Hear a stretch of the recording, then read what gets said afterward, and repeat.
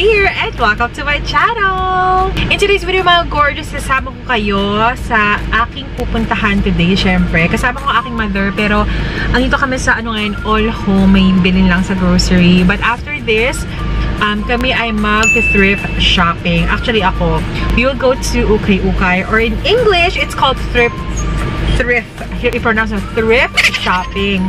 So, kayo ba ay uh, kayo ba ay gusto pumorma at naghahanap ng magagandang damit or mga unique na damit pero nasa budget kayo? Well, meron akong discover na ukay-ukay dito sa Cavite, sa may naman ng Noveleta. At puntahan natin sila today at we'll check out kung ano yung mga items na nandoon. Kasi nakita ko na 50 pesos lang lahat ng items ngayon. Malaki yung space nila doon. So, we'll see!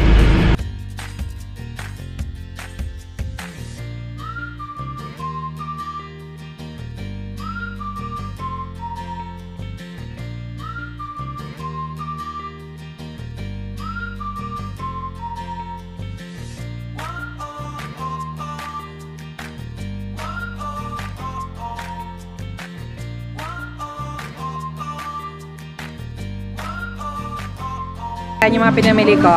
Ate, magsalita ka. Anong name ng ukay-ukay nyo? Romita Sebastian.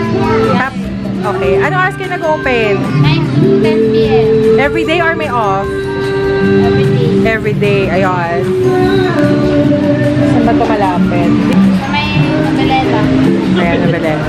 Tapat ng City Hall ng Noveleta malapit. Ayan, yun yung mga napamili ko. Tapos i-haul ko na lang pagdating ng bahay. 50 pesos lang yung lahat. dami ng tao. Dinadayo talaga to. Ang dami yung shoes today, no? At bye-bye the Angel. Bye, Kuya! Hey, gorgeous! I'm back and I'm home! finally, actually, kanina pa kami nakauwi. Kaya lang, syempre, nagpahipahinga muna ako, konting retouch, alam niyo naman. Yun na ako sa aking room. So, alam niyo na na ito ang aking kwarto kasi nang madalas nagpa-vlog. At super saya ko. Obvious ba? Diba? Kasi medyo marami-marami akong nabiling items sa ukay-ukay or thrift store. Now, just an FYI, this is not a sponsored video mga gorgeous. Mahilig lang talaga ako mamili ng mga damit. Eh, natural, nagtitipid tayo. Wala naman akong regular job ngayon. And gusto ko pa rin pumorma or mag-OOTD minsan. Pero syempre, ayokong gumastos ng bonggang-bongga. -bongga. Kasi ako hindi ko mamili sa Forever 21, sa H&M, of course mga brand new clothes. Pero, bakit naman ako hindi magka-try sa Ukay? I mean, before, I used to go sa Ukay-Ukay. And I haven't been to Ukay-Ukay or thrift shop or thrift store for so long now. So, I decided, pupuntahan ko tong ukay-ukay na nakita ko sa Noveleta. Actually, nag-drive lang ako, kasama ko si mama at papa, like a few weeks ago. Then nakita ko ito. I thought maliit lang siya parang room ko. Then when I went in, like a few days ago, wow! As in, wow! Bumulag pa sa akin maraming damit, shoes, bags, they have belts, name it, they have it. Hanggang sa sintas ng sapatos. So, ayan at marami rin nga ako nabili. At lahat to ay 50 pesos lamang. Yes! 50 pesos lamang. Kasi bonggang-bongga. Kasi maraming ukay-ukay sa Cavite na yeah, okay-okay. Maraming laman. Pero minsan parang eh, hindi na maganda yung quality, hindi na maganda yung designs. So, sa ukay-ukay, talaga, okay, may expect ng marami magaganda. Discarte talaga. At kailangan yung marunong kayo pumili ng damit. Hindi lang sa brand, pero pati sa tela. At titingnan nyo mula sleeves, hanggang sa kwelyo, hanggang sa dulo-dulo ng damit, kumingisnis, kumiman siya, or kung may mga damages, syempre, bago nyo ito bilhin. So, kukintuhan tayo habang pinapakita ko sa inyo mga damit na bili ko. Magsisimula muna ako sa mga bottoms or sa pants or shorts. The first one is this wade pants na Ayan, nalaban ko na to eh. Kasi nung isang araw ko to nabili. Tapos bumalik ka lang ako kanina. Ayan, nalabas ako nakapunta doon. So, ayan, medyo mihimul-mul na siya. Pero okay pa rin. As in, perfect siya. Pwede siyang medyo high waist eh. Kung medyo masikip sana, pwedeng i-adjust ko na lang. Or pwedeng ganito na lang din. Pwedeng i-tuck in. Pwedeng kayong maglagay ng um, pop or i-pair sa top na crop top. Ayan, maganda siya. At maganda pa yung quality. Hindi halatang used. Ito, nakakashook mga friends. Look at the brand. It's Burberry size large. Medyo maluwag pa to sa akin kasi nga, of course, American size, UK size, medyo malaki. Ayan o. Oh. Tingnan nyo. Ang ganda niya i-partner sa sneakers na medyo makapal or sa heels. Tapos nakatuck in kayo or naka-crop top na white. Or even black or orange kasi may orange to. And meron siya konting damage though. Pero it's just okay. I mean, pwede ko naman siya tahiin or repair. Guys, Burberry, 50 pesos. Duh! Hindi kayo makaharap na ganito. Kamura. Sa ibang ukay. I love it! Next is itong shorts. Parang siyang candy shorts. Pero unfortunately, hindi siya kasha sa akin. So, I will just give this to probably my brother's girlfriend. It's really nice. Hindi siya kasha sa balakong ko. Mahal kasi balakong ko eh. Pero it's still nice for 50 pesos. There's no brand though, but it's really nice. The next one is this army green na candy shorts na palda. Ito yung tsura niya sa harap. Ayan. Palda siya. May parang palda pero short siya sa likod. May pockets. It's really cute. Tapos pwede siyang partner ng white top, ng nakatak din na black shirt or long sleeves, anything. So, bagay dito kahit ano. Tapos naka-sneakers or flats lang kayo. Next one is this denim skirt. Ayan. Ganito siya sa ilalim. Yan. Hindi ko ang tawag dito eh. Ayan, may layering siya. It's garterized. Tapos saktong-sakto lang siya sa akin. Ang brand niya is Lowry. I think it's made in Japan or made in China. So, it's nice. Diba? 50 pesos. Another skirt na gustong gusto ko pero hindi siya kasha. Biti siya ng ano, 1 inch sa bewang ko. So, kailangan natin magpapayat. Yun ang tanging sagot para magkasya ito. This is like a turquoise color. And dito may tag pa siya. Ayun o, A-line skirt. At it's suede. See? Ang ganda nyo. Kaso hindi siya kasya sa akin. So, well, that's life. We'll proceed sa mga tops naman na nabili ko.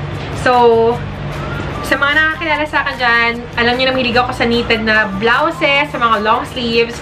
And this is one of my favorites sa lahat na nakuha ko. This brand is Heart Memory. It's a knitted blouse. It reminds me of, you know, it's like a, a walk to remember sort of blouse. Yung parang sa Timadi doon. And this is also good sa jeans, sa shorts, or pwede na siya i-tuck in. Ayun, ang ganda-ganda nyo. Super nice. Tingnan niyo yung tela. Tapos may button siya. Pwede siya gawing cardigan. Pero ako parang hindi ko siya gawing cardigan. I'll just leave it as it is. Like, use it as a regular blouse. Next one is just a casual long sleeves. It's sort of na parang, ano siya eh. Sort of na parang. It's parang crop top. Ayan, don't need to. Medyo faded na yung design niya. Ayun, no, faded, no. But it's okay. Even if it looks old, it's still cute. It's good on jeans. Ayan. At soft yung tela niya, stretchable.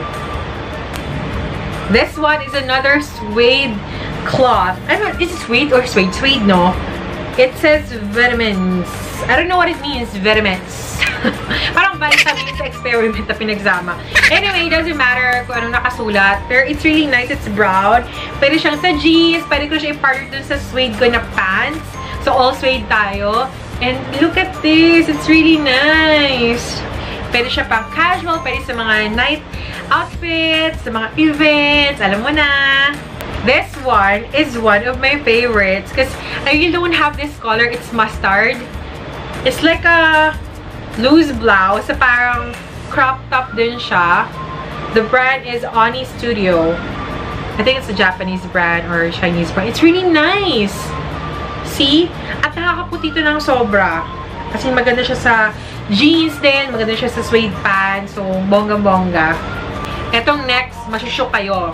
Because the brand is Uniqlo. See? It's Uniqlo. Ah, it's Uniqlo. Grabe, ang ganda niya. Turtleneck. At hilig ako sa long sleeves, mga ganyan. At nakakaputi rin siya. Nakakaganda. Besh. Hmm. Diba? This one is another knitted top. Medyo loose, pero pwede rin siyang parang figure hugging siya sa gilid. Parang nakaka-tighten siya dito sa hips. I don't know how you how you explain it. Pero, ayun, ganun siya. Medyo manipis. You can use this sa beach or you can also use this for casual days, you know, on jeans, on shorts, or any kind of bottoms. Ayan, saka guys, shine. Got another white top. This one is kind of sexy. The brand is 4Page. It's a Korean brand. Korea. Ayan o. Okay na sa harap, pero sa likod. Pinakita ko sa jowa ko, sabi it's too, yeah, it's too, know it's too sexy, but I won't wear it just like this. I have to wear a bandeau or a tube inside it. So, yun yung mga tops na nabili ko. Proceed naman tayo sa dress. The first dress that I got is actually for my mom, but I'm not sure if she's gonna wear it. It's really nice. It's big. And, made in Hong Kong ata to. Meron pa siyang tag. Oh, hindi pa siya used. 50 pesos. Come on. Mm. Ganda, diba? Ganda ng tela. Next. Another knitted um, dress. So, para siya pinagdugtong lang na skirt at dress na nakatahi sa dulo-dulo. So, this one is knitted. Ayan, ganyan siya. And ganito yung tela niya. Manipes. So, you have to wear something underneath. Like a white shorts or maybe a long cycling shorts. So, ayan. Medyo heavy siya, pero I think this is something that I can use, especially when I go abroad or something. Next dress is this floral dress. Oh, ito, I love it so much. I can pair it with the sandals, with the sneakers, you know. So, it's a button, button down dress. Uso yung mga ganyan ngayon eh. Actually, mga gorgeous, lahat naman bumabalik lang yung mga uso nung 70s, 80s, ayan. It's really nice. And I forgot to mention, no, yung star nila ha, napansin ko lang din, hindi siya tulad ng ibang ukay-ukay or thrift shops na napuntahan ko, na yung kate, yung pagpunta parang, ah, parang, parang, mm, parang maganda lang isip ka, maghawak-hawak. Sa kanila, super, para sa akin na parang medyo hygienic sila doon. Kasi walang amoy, ano yung kakalabas lang sa box. Hindi siya ganun yung amoy ukay. Pero syempre, mga allergic sa medyo dust, alikabok, expect yun na tulad ko na medyo mabahing-bahing. Pero, hindi gano'n karaming bahing ang nangyari sa akin doon. So, ibig sabihin, hindi siya talaga marumi. Of course, ukay-ukay, you find dirty clothes there and all. Pero, no, guys, mga gorgeous, come on. It's not bad for 50 pesos. Akin talaga, kung naghaharap ka ng mga unique clothes, yung tipong wala kayo halos makakapareho sa malls or wherever you go, go to an ukay-ukay store. If if you haven't tried it, try it with your friends. It's fun. It's more fun if you try buying clothes at the ukay-ukay with your friends or your family or your relatives. And the last dress that I got is this very, very beautiful knitted na dress with a lace accent below. See? Meron siyang layering din sa ilalim na brown. And it doesn't really look used or old. It just fits me very well. Super ganda niya. Like, super nice. This is something that I can wear sa mga occasion, sa mga events, sa mga holidays.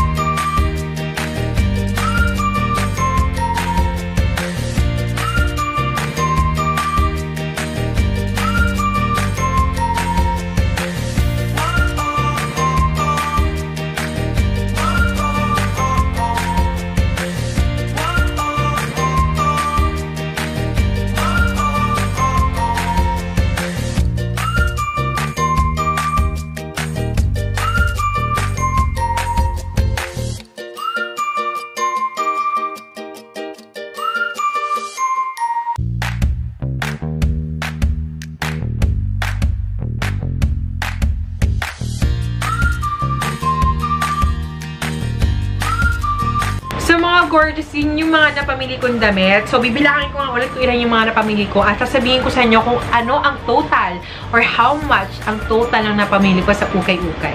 Oh my gosh, mga gorgeous, kakakompute ko lang. Kailangan ko paggamit ng calculator kasi may ako sa math. Hmm? 17 items times 50 pesos. I only paid 850 pesos for 17 clothes! And that is something that I can't find anywhere. I can't buy something like this anywhere. So, grabe, sobrang mura niya. Kasi nakakaloka. Hay, nakakaloka. Kasi nakakaloka talaga. Yun nga lang, hindi ako bumibili ng shoes. Kung nagkataka kayo, bakit wala akong binili ng shoes or bags? I'm not really a fan of shoes sa ukay-ukay. Kasi medyo maseren ako sa sapatos. Pero pagdating sa clothes, it's okay. Kasi that's, those are something that I can um, wash. No, I can really wash well. But sa shoes, hindi ako masyadong comfortable. But anyhow, I'm really happy. Like, super more than 100% happy and satisfied ako. Even the people there, sina Kuya, sina Ate Angel, sina Kuya, basta sina Kuya. Ayan, um, super entertaining nila. Accommodating pala. Ayan, super accommodating nila. Approachable and all. At, yun nga, meron pa silang basket na bonggang-bongga na pwede, parang siya shopping lang sa mall, ganon. So, ayun lang. Sana nag-enjoy kayo mga gorgeous sa video na ito today kasi alam ko love na love yung mga haul videos like this and try on haul videos like this. And sa mga kabitenyos dyan, again, kung gusto nyo pasyalan ito, dito lang to sa May Noveleta, Cavite City. Malapit sa Jollibee, katabi ng 7-Eleven, tapat ng Noveleta City Hall. I hope mga gorgeous that you've enjoyed this video as much as I did today. And if you haven't subscribed to my channel, please do subscribe to my channel by clicking on the red subscribe button below. Like, share, and of course, hit that notification bell below para ma-notify ka every time may bago akong video na ina-upload sa aking YouTube channel.